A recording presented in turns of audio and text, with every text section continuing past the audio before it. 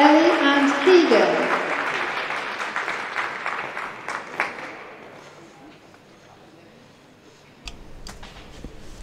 Ellie Allan and Keegan Cairns.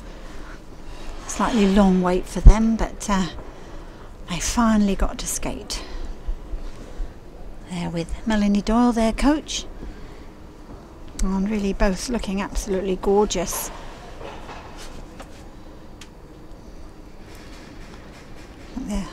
Bit disappointed, but uh, it's their first British Championships together. They should be very pleased with how they skated. Keegan's still only 13 and Ellie, she's going to be 14 actually at the end of this at the end of this year. I did say she was 14 And already, but she's not Ellie yet. Allan and Keegan Cairns. Total segment score 7.62. That gives them a total score of 15.24 and they are currently in third place. And next to skate from Nottingham, Ella George